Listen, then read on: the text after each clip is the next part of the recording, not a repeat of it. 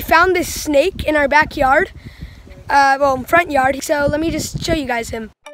Okay, so my cat is checking out these snakes.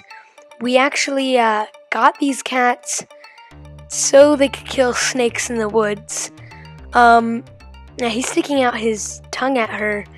He looks grumpy. He's definitely grumpy. I don't think he likes that she's that close to her. oh, she went away. Um,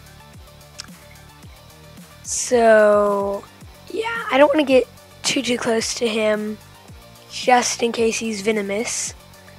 Uh, but I really do like snakes. So, oh, hey, stop hitting it. Don't, don't hit it. You're to make it mad and then it'll try to bite you. Okay. Uh, yeah, now he's looking at my brother.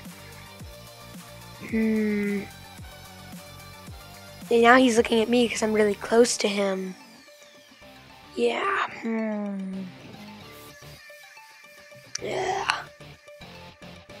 Okay, so we looked it up, and he's a black racer snake, um, very common non-venomous snake of North America.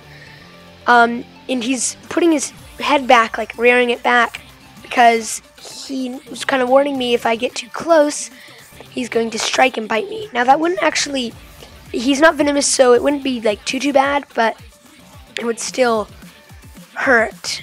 Um, so I just don't want to get too close because I don't really like experiencing pain that much. And no, there he goes. He's slithering back into the forest. I guess we scared him away. Yeah. And he's, that little short gone. video. I just wanted to show you guys that cool snake. Um, he's gone. And yep. We found two snakes. Yeah. Bye.